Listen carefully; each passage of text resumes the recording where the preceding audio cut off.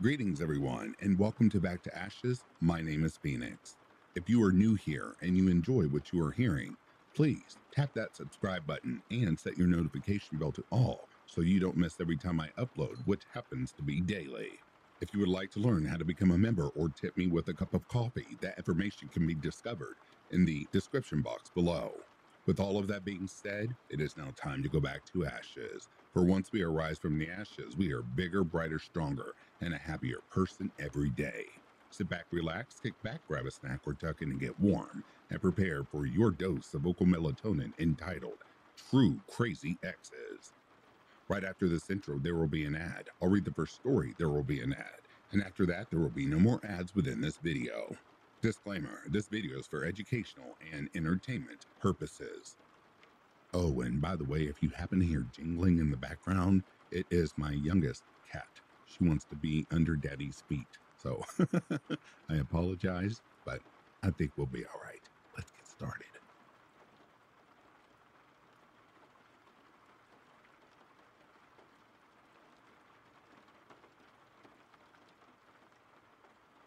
I'm not a creative writer or anything. I just thought I'll put this story on here for you all to read because it was pretty creepy to me. When I was about 13, I had not long broken up with this girl who supposedly had a psycho family. One of the girl's family was a close friend who was supposedly obsessed with her. I was invited out with my friends after school one day, and this boy latched on. Everybody told me to come out and that he wanted to make amends and he understood why I did what I did, etc., etc. Being the pushover that I am, I went out and we hung out in parks and smoked and drank. As it started to get dark, I decided to go home. I felt uneasy being around him, and he started acting all weird, talking about fights he had been in and bragging about bashing some guy's face in with his fist at school. Because of this, I left. I didn't feel safe whatsoever. The next day, my best friend and all the other kids that were out that night came into school and told me that gotten worse after I left. Apparently, after they had drank some more, he started waving this huge kitchen knife around and was telling everybody how he was going to stab me in the stomach for breaking that girl's heart. Let me point out, I only know details of this because I have a relative in the local police force. My dad made us move because he knew where I lived. I continued getting death threats on social media though, until about a year or two later when it was in the paper and was spread around the town that he had broke into somebody's house and stabbed a man to death and then slit his wrists in the man's bathtub. They found high amounts of cocaine and cannabis in his system, along with a ton of alcohol. The elderly neighbors phoned the police when they heard some commotion, and they hadn't seen the man leave for work. They found him barely conscious, and he is now in a psych ward. This was supposedly over the girl again. I think, no, I know I dodged a bullet there.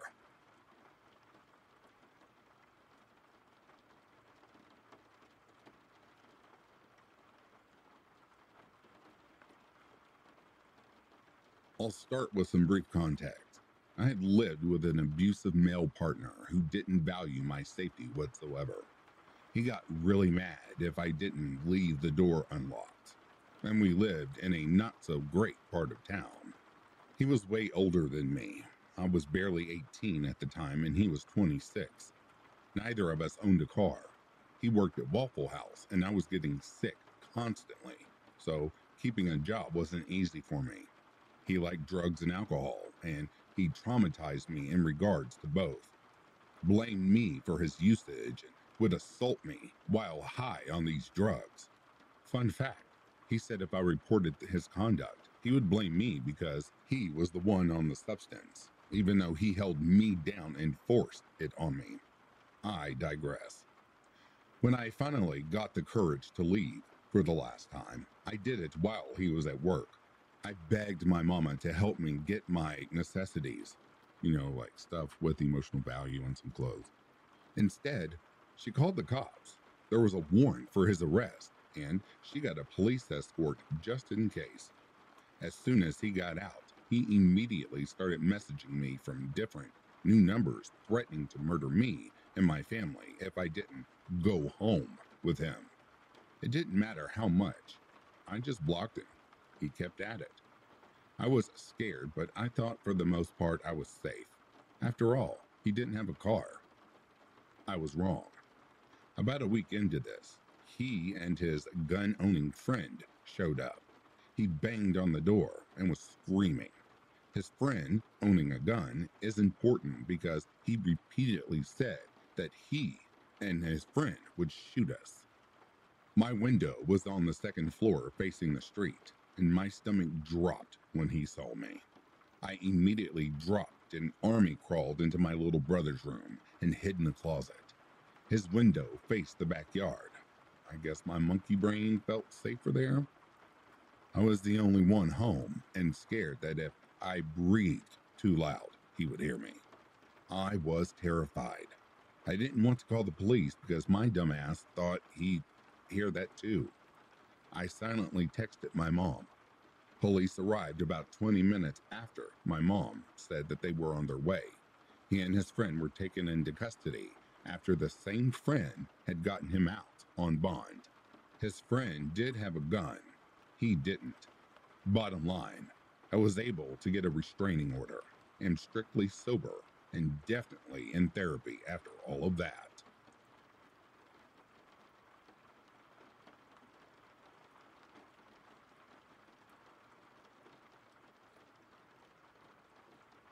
This happened about a year ago. I'm 16 now, and he's going to be 20 in August.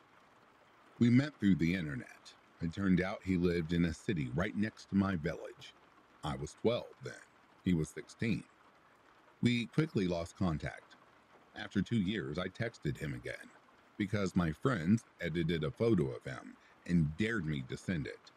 He seemed nice. We had a lot of shared interests, and talking with him felt pretty natural. I was used to age differences because, for some reason, I never meet people my age, so I didn't mind it. He took the bus to my village a couple of times, and we hit it off pretty well. He even met my best friend.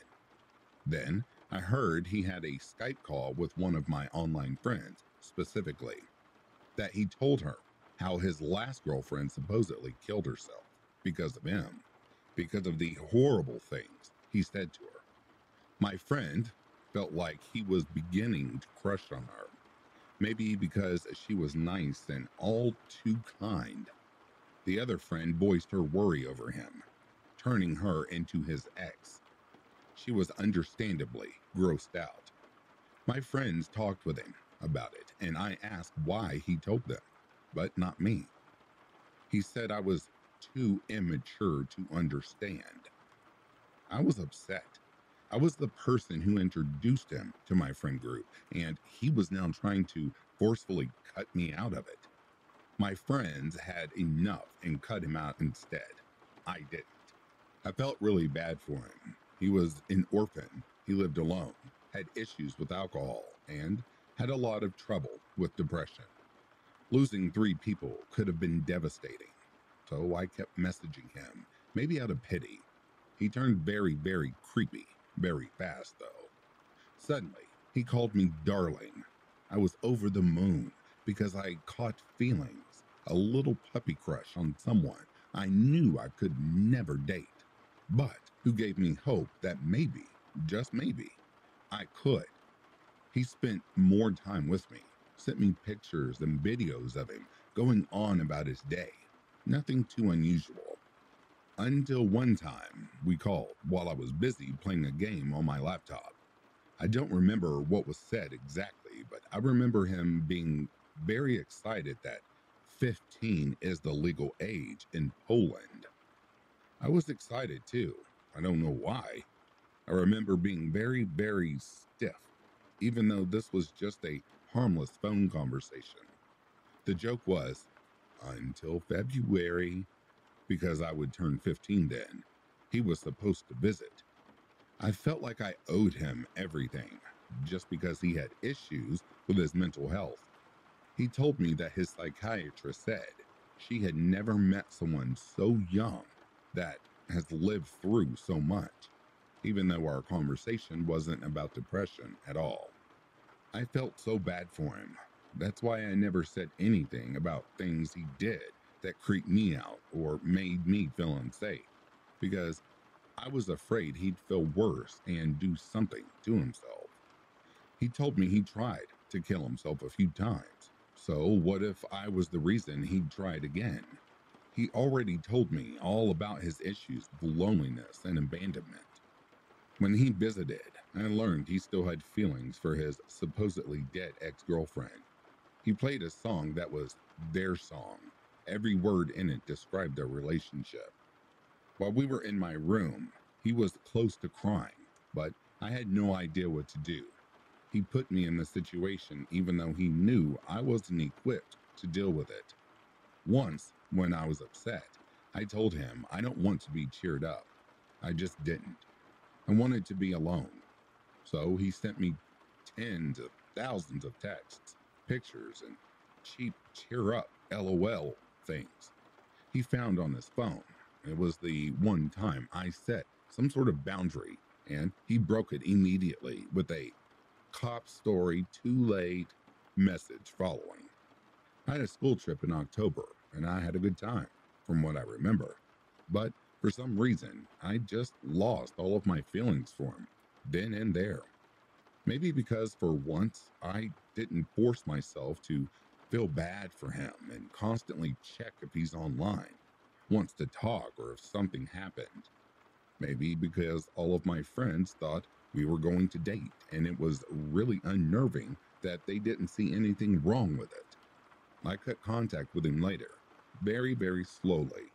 I deleted him off of things he never checks, blocked his number, then blocked him on Facebook. He noticed. I never looked back. Later on, through yet another friend, the only one that kept contact with him, I learned that his ex wasn't dead, or maybe she was. There was screenshots of him talking with a family member about the funeral. Then screenshots of him talking about moving in with a girl two years older than he was, who's the love of his life, who had the same name as his ex. He sent me a picture that was supposed to prove that he was in a psych ward, but even my friend refused to believe him. I don't even know what he was lying about in the end, or if he was lying at all. Next school year, I'll be going to a school in the city he lives in, and I know he is still there.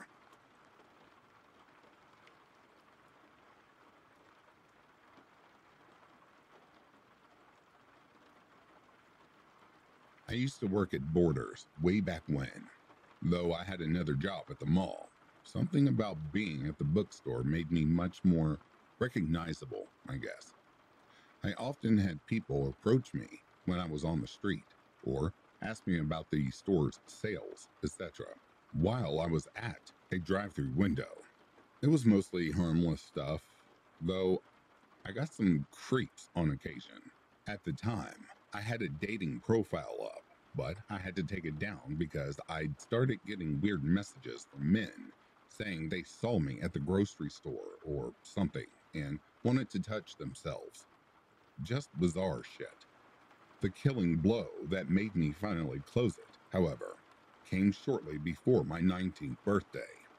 I was checking my account after work and I see a message titled, We Met, which immediately creeped me out. I clicked on it and it said, Sort of before proceeding to go into this very weird graphic depiction of this guy who is apparently so thrilled by my cashiering skills that I caused a stirring in his loins. This email was seriously like three pages long, talking about how sexually excited he was and all of the things he could do to my young body. I was horrified to think that one of my customers had been looking at me like that, thinking those things. I clicked on his profile. No photo. He said he was 56 and single, but no other information. I needed to know what he looked like, which is the only reason I replied, and I imagine that was his game all along. I didn't respond to any of the other stuff he said, but I asked him if he'd send me a photo. He told me that he couldn't put one up because he's sort of a public figure, but he told me he'd email it to me. It took him two days to get back to me. Those were two very long days. While I waited, I looked at my message history and discovered that this guy had actually written me many times. I'd ignored him because one, no pictures, and two, way out of my age group I was looking for. Out of morbid curiosity, I looked at the messages. All of them were filled with sexually graphic things he wanted to do to me. He talked about fantasies of using me with another man that he knew, acting out sexual assault scenes, tying me up, etc. Some of the details were specific to me, which leads me to believe he wasn't just sending them en masse to every young woman on the site. Meanwhile, this guy is older than my dad. I spent the next two days tensing around every older guy who came in. I was afraid to be friendly to any of them for fear that one of them would be this guy and he'd take it as a go ahead to come at me. I was having a birthday celebration the day he finally got back to me. The moment I saw his name, I got a bad feeling in my gut. I couldn't immediately place it, but I knew there was something wrong with this person writing things to me. I stared at it for a moment, positive I knew this guy, but my brain would not let it click. I texted my friend to confirm with her as it began to dawn on me. This man was my high school principal. I was horrified. I was still 18 at the time, which means that he must have been creeping on a bunch of us all along. I remember being alone with him in his office, and it makes me feel queasy. Is he just perched and waiting for girls to graduate so he can legally pounce? I wrote him back and told him, I don't know if you remember me, but you were my high school principal, and I happen to know that you are married. He didn't reply, and I thought that was the end of it. I was still super creeped out for a while after that, though. Just knowing how long he'd been thinking about me and sending me these graphic messages when he'd been an authority figure in my formative years. Almost a year passed without incident, and he didn't come in when I was there. But one day, I started ringing someone up without getting a good look at his face. It was a friendly exchange, right up until I made eye contact. It was him again, and he was grinning at me. I put his stuff in his bag and turned away from the register, but he stayed where he was. I pretended to organize some returns, but he just kept standing there, silently, not moving or anything. I knew he was watching me, but I didn't want to look. The moment lasted for too long, so I finally grabbed my headset and asked a manager to come to the front of the store. He hurried out after that, and I never saw him again. Oh, yeah, quick edit. I was going to mention this before, but the post was already too long. Because this has been a common question, though, it turns out he had recently retired so he no longer worked with children. Regardless, I still contemplated putting the information out there, but I realized there wasn't a um, whole lot I could really do at that point. Technically, he wasn't committing any crimes, just describing kinky fantasies to a legal adult. I thought about it for a long time, discussed it with people in my life, including a parent who worked with the school, and it just did not seem worth the risk. It was a smaller area, and I didn't know what might happen to me. Now, I probably would have done something anyway, but I was a kid at the time. As for his wife, again, I thought about contacting her. My friend's mom knew her, and I had email evidence.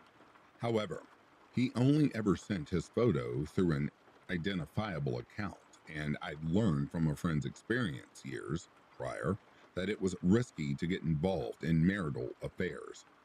I didn't know their situation, and there was a chance his wife might have already suspected his infidelity, but remained in denial because she didn't want her marriage to end. In those situations, sometimes the woman will lash out at her husband's victims because she can't lash out at her husband.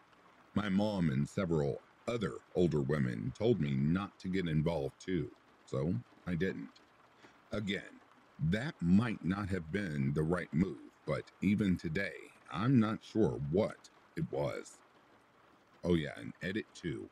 To be clear, this was over a decade ago. I do still have the final email somewhere, but I'm not sure if I have the ones he sent me on the dating site. They may have just been connected to the account, possibly lost when I deleted it. I think I may have screenshotted them, but that was like four computers ago, so I can't be sure now. I no longer live in that area, and frankly, I feel like it's more likely to invite unwelcome attention onto me than onto him. He could be dead now, for all I know.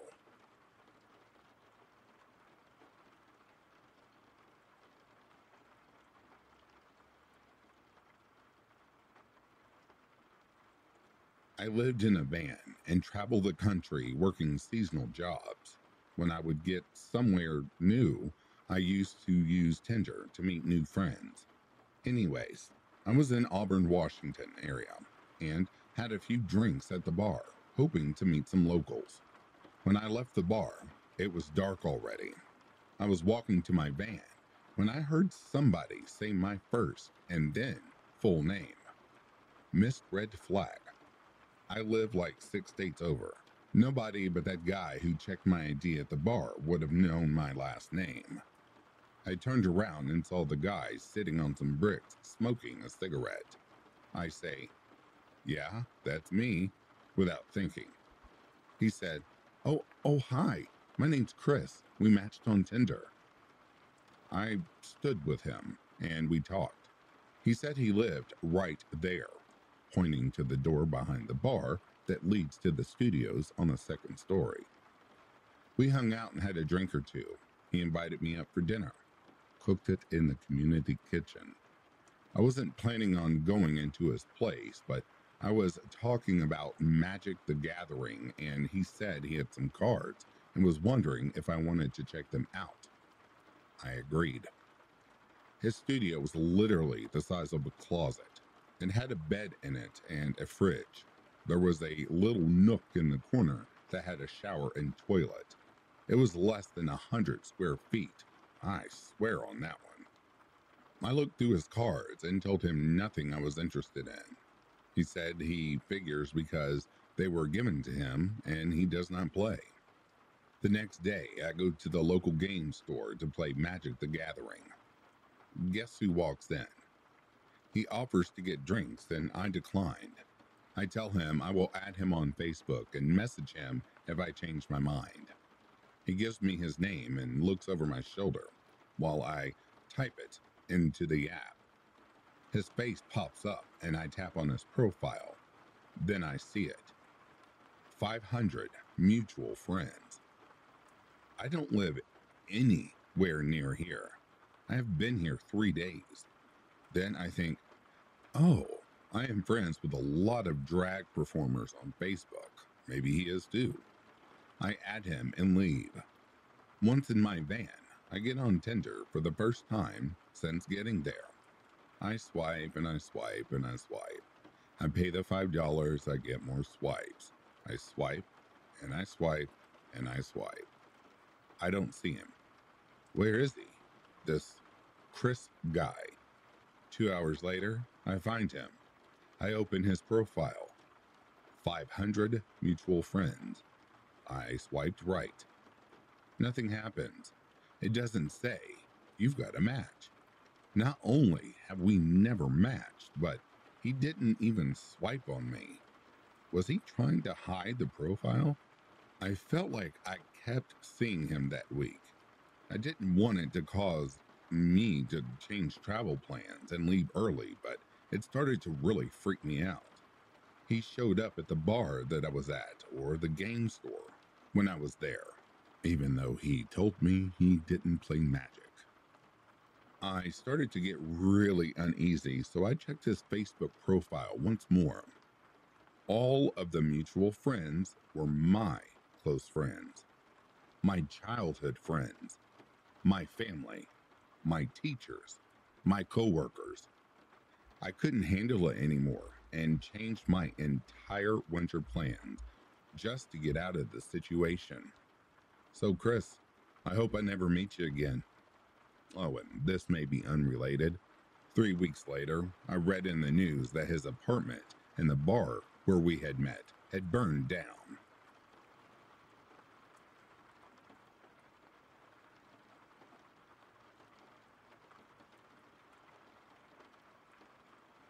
In 2016, my cousin Anna met a man named Jonathan. They were extremely happy together, to the point that in 2018, they got engaged. Anna, however, cheated on Jonathan shortly after with a man named Link. This was poorly solved by an idea to have a polyamorous relationship with Link. As time went on, Link turned into a horrific housemate and boyfriend. So, Anna and Jonathan decided it was time to remove him. This proved extremely difficult. Anna started by asking him to leave, and it didn't work. He refused to go. The landlord also refused to evict him due to him doing no wrong. They decided he needed a reason to leave, and I was tasked with removing him.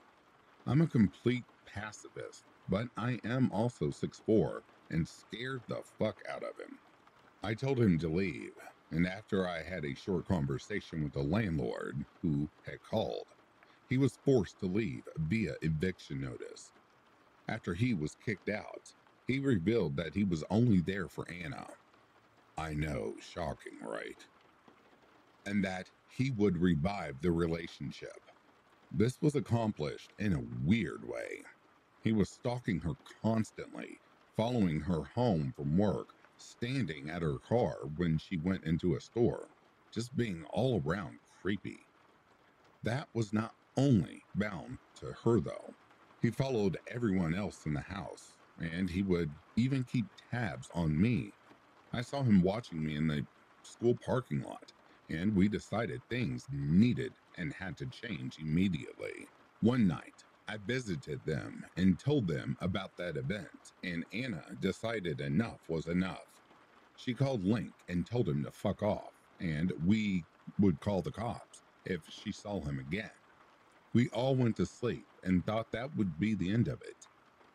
Oh boy, were we wrong. It was exactly seven in the morning, and I was woken up to what sounded like thunder over and over again. The entire house was shaking. He was at the front door, punching it, trying to get in. Because he was going crazy. I had carried a gun to their house the night before, just in case of a situation like this, and I yelled, Hey, I'm willing to kill you if you are willing to die. He took this notice seriously, and the cops were angry at me for threatening him, but due to the circumstances, they let me go. I was there a month later, and I was having a good time with them, playing video games, beating Jonathan's ass in Mortal Kombat as I do, and then I saw him looking at me through the window, and I freaked out. It was like a big ass spider crawling up your arm. He bolted the moment I saw him, and I couldn't sleep that night. A few nights ago, I visited again and woke up in the middle of the night. I wanted a glass of chocolate milk and an ibuprofen as my head was hurting, and I need to sleep. So I went to the kitchen and he was there. He had a big knife in his right hand. I remember freezing and looking at him. His pupils looked dilated and he freaked me the hell out. He said, Tonic, it's not what it looks like. I'm here to stab Jonathan in the face. I just love her so much and everything was fine before she intervened. I ended up attacking him and got the knife away before he ran. When the police finally caught him, they informed us that they would hold him for a bit and give him a warning. But technically, it was still his house, as he was never evicted, and that we needed a restraining order to keep him away. Why are you writing this now? You might ask. Well, it's the only way I can sleep to write about my experiences. Hopefully, he will slip up and get arrested or something. But as long as he's around, I'm having trouble sleeping and I'm scared for everyone I care about life.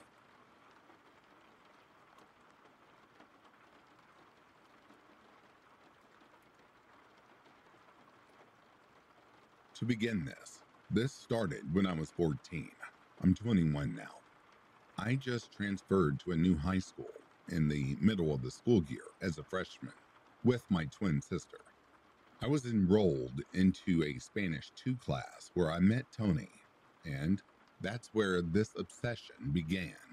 But when I started my class and met Tony, I instantly thought he was attractive. He was tall, brown hair, and beautiful eyes for a guy, and was also a year my senior. But I did notice he was extremely shy and kind of awkward, but I made up excuses to talk to him asking him about the homework and other meaningless small talk. He took to me and asked if I wanted to walk around during lunch and talk. I happily agreed. He was obviously not very confident and didn't know how to initiate conversation. So I did most of the talking, even went as far for asking him for his phone number. After a few days of texting and talking, I can tell he doesn't have any friends and he is kind of negative and has a pessimistic view towards life. It was rather draining and disappointing. Things he would say were kind of unsettling, or I guess just unusual for me. He would text me fantasizing about being a superhero, kind of like role play, in which I was the damsel in distress and he was my savior, and text me somewhat similar to those. Choose your own adventure, always ending in the damsel and the hero kissing and being together. He had an obsession with Slasher from the Scream movies. Overall, he was a nice guy, but different from what I was expecting or attracted to. Time passes. Valentine's Day is coming up. We're talking practically every day, so he asked me to be his Valentine. I agree, somewhat reluctantly. So it's Valentine's Day. He walks up to me and gives me a pack of Hershey Kisses and some Twizzlers. I hate Twizzlers. So I handed them back to him, gave him a kiss on the cheek, and went to my class. Yes, I know that was kind of a bitch move, but I was honestly losing interest in him at that point, and I told him before I didn't like red vines or any candy like that. During the day, I received more gifts, flowers, and candy from others, friends, and I see Tony, and I can tell he's extremely upset by this, but he doesn't say anything. He texts me later in the day saying how stupid he felt and how he was outdone by everybody else. I just didn't respond. Over the next few weeks, I gradually talked to him less and less. Class is awkward, and I can tell he wants to say something to me, but never does. I later learned from my twin sister that he asks her every single day about me, if I'm talking to someone else, if I like him, how to win me over, confiding in her that he has never even talked to a girl before. And at first, I think it's sweet, but I still no longer have a romantic interest in him. We would talk at school sometimes. He would bring me homemade cookies, walk me to the train station, still text and try to call me in the evenings after school. But I was talking to someone new who eventually became my boyfriend for the rest of the high school year Brandon. When I started dating Brandon, I knew that Tony was absolutely devastated. He then started telling people around school that I was his first kiss. I was confused because I didn't know a kiss on the cheek counted as the first kiss, but to each their own.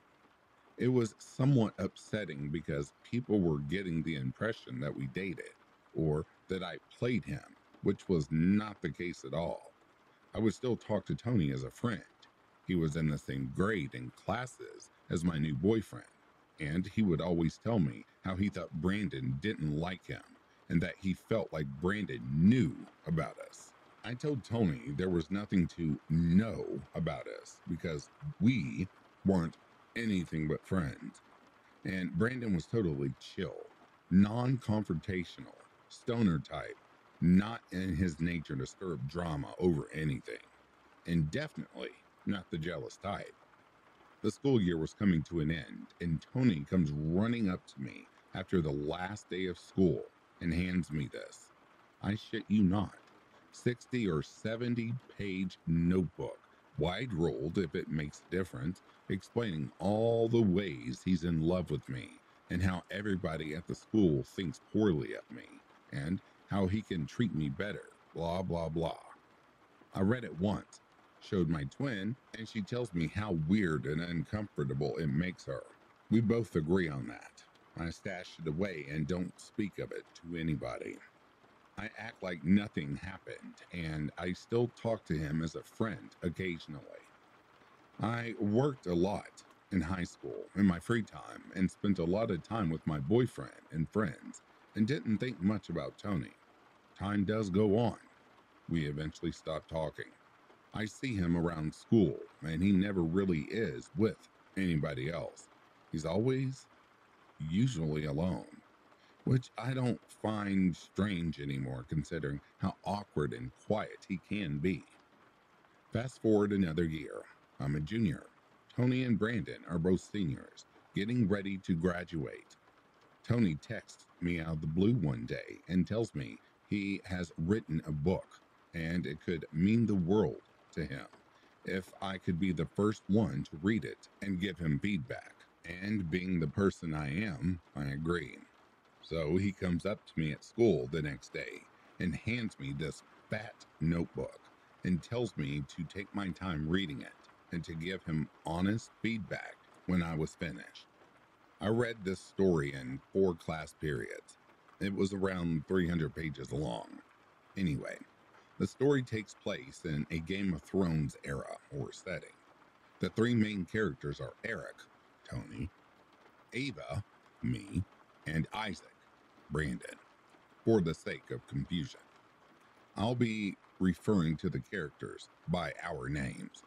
The only reason I know the characters were us and not fictional was simply by the way he had described them, literally identical to our physical appearance.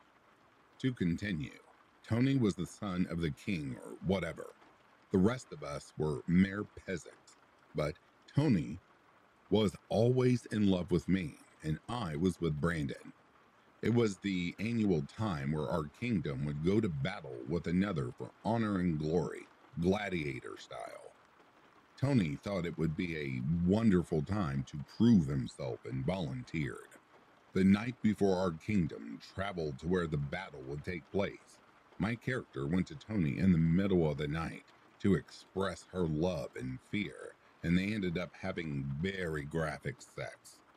It was truly disturbing. The next day, after they had arrived at the place of battle, my character went to his room again, where the same graphic encounter occurred again. And during this, Brandon came looking for my character, in which we were caught. My character told Tony I didn't really love him and ran away with Brandon to apologize for being a harlot. Tony was devastated and ultimately let his opponent kill him in battle because he couldn't handle the loss of the love of his life. Our kingdom goes back home, and in the middle of the night, Brandon sneaks through my window and murders me. He slit my throat. The end. As you can imagine, I was absolutely horrified and creeped out. I threw the book away and never told Tony what I thought about it. He must have known because he never asked for it back. Tony and Brandon both graduate. Life goes on. Tony didn't try to reach out to me for a few years until I was around 20. He messaged me on Instagram in the middle of the night. Show your feet. Submit to daddy. I always look at your feet at school and would fantasize about them. Along the links to a few foot fetish websites, I promptly blocked him. The next day, he messaged me from another account, a foot and fetish and bondage account he ran. He asked me why I blocked him. I blocked him again. Earlier, last year, on my new account, he messaged me basically calling me a whore and how he wishes I would just die and how he hated everyone he went to school with and hoped they would all die, and how he fantasized on how he would kill me for all the pain I caused him. I was genuinely afraid, and I didn't know how to handle the situation. Was it really a death threat? I don't know. I later learned that he worked at a diner down the street from my apartment. I avoided it at all costs.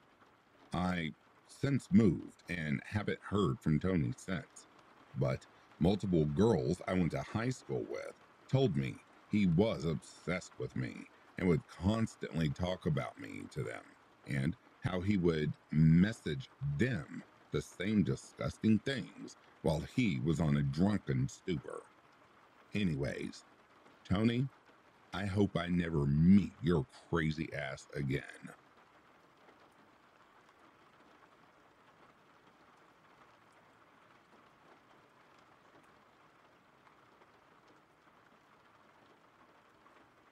So I matched with this girl on Tinder, Jenna.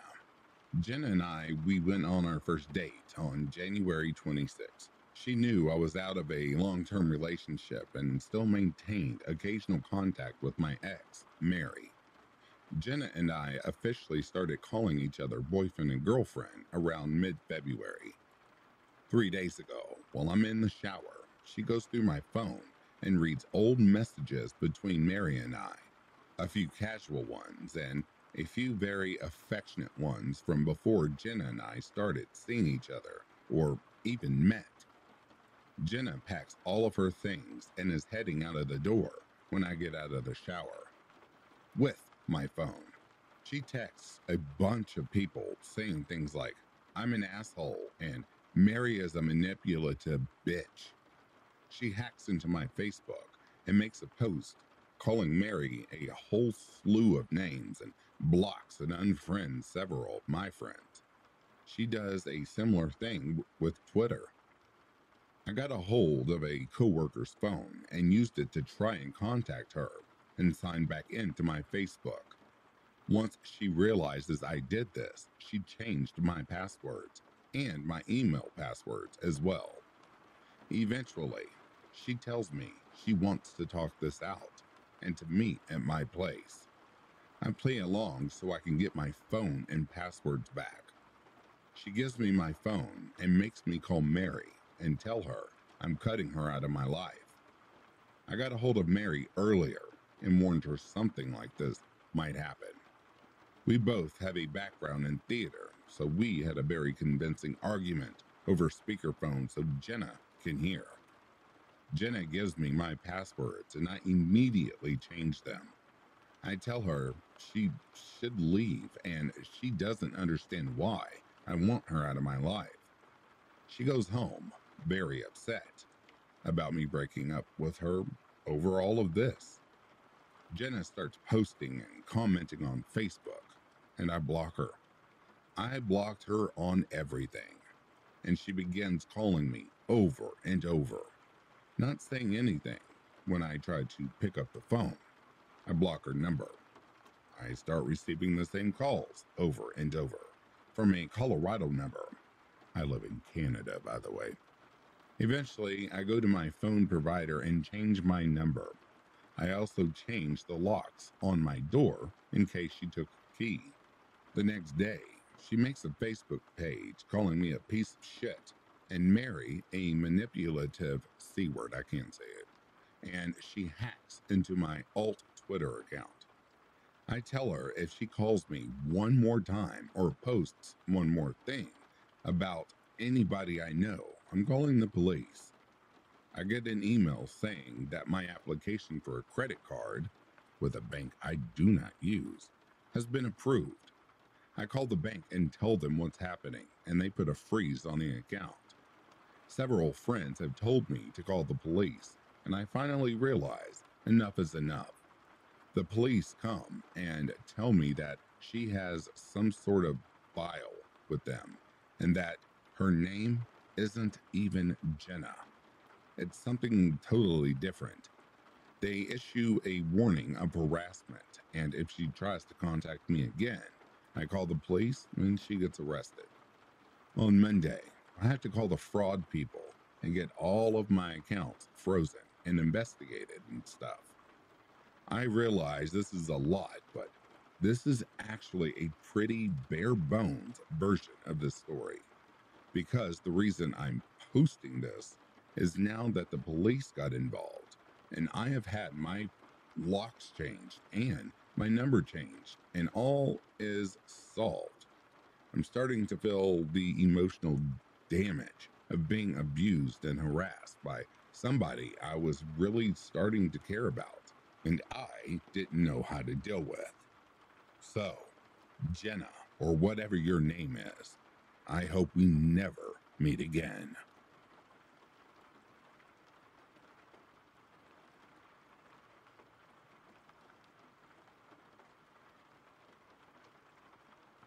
When I was 23, I was renting my first place when my ex girlfriend from way back reached out to me. We had dated for X amount of months in high school. It's been over 10 years since high school, and I still can't remember how long it was. It just went badly because I was a douche and started talking to another girl. Anyway, my ex said she was over what happened when we were teenagers and was willing to give it another shot. So we have a date and then several dates, and Things are doing really well. A month into our relationship, one night I'm at work on a late shift, and she calls me saying that she has gotten into an argument with her mother. They had gotten into some sort of domestic about something she got slapped and needed to cool off at my place. I get home and turns out she was moving in. I'm pretty laid back and wanted help with the rent anyway, so I'm somewhat okay with it. I mean, I knew I was walking into a snake pit, but I didn't know I was going into a viper pit. So we lived together for a whopping two months when things take a turn. She starts telling me she's insecure about me talking to other girls, then that changes to watching porn as well, which didn't work. I have control issues, we start fighting a lot, sometimes all night long. She starts cutting herself, saying it was my fault, ends up getting tetanus. Late phone calls asking where I am at work and who I'm with. I work late hours at an ambulance service. Things come to a head one night when Crazy ex tries to tell me looking at porn is the same as beating her. She starts screaming at me, bringing up all the cutting and the doctor visits, claiming it's my fault. I get fed up and tell her to move out. This pushes her off the deep end, grabs my handgun that I keep for self defense, tells me that she'll kill me, then herself. I called the police. She leaves shortly afterwards. After she throws my loaded handgun outside, I think, Yay, it's over. But it wasn't yet. So a few days go by without incident. Crazy ex texts me saying she needs to give me her house key. I tell her no and to throw it away, but she drives to my house anyway, leaves the key, and tapes a note to my door. saying I'm mentally ill and need help, and she forgives me, blah, blah, blah.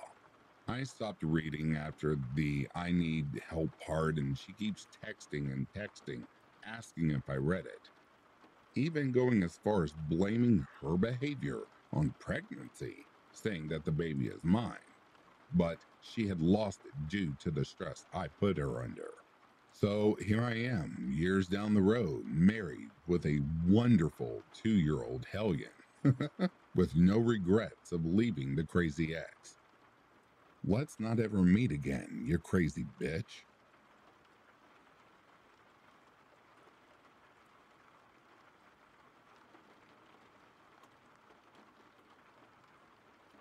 And that, dear listeners, brings a close to true crazy exes. Before I move on any further, I would like to acknowledge the elite members of Back to Ashes and the gifted memberships. Patty's niece, Samantha Blaze, Call Me Carter, Corpse Lover, Stephanie McLaren, Denise S., Tina Mead, Luz Crispin, Tammy Slayton, Dova Khaleesi, Eda Smith, Amy Klimko, Sugared Spite, Mrs. Interscare, and Anita V.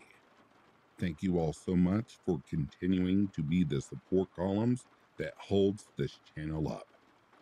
I couldn't love you anymore. and our gifted memberships the Conspiracy Archives, Grimm's Library, Adam Grigg, Nat Davies, and the Cryptid Sleeps. Thank you all so much. I hope you're enjoying your time here. And to the other subscribers or people who just watched the video, thank you so much for your support. For without you, I would not have a voice. If you are sleeping, I hope Slumberland is treating you comfortably. If you're awake, I hope you've enjoyed these selections. Until next time, please take care of yourselves and stay safe out there. I'll be reading to you soon. Have yourselves a good morning, a good afternoon, or good night. Peace, love, and light to you all.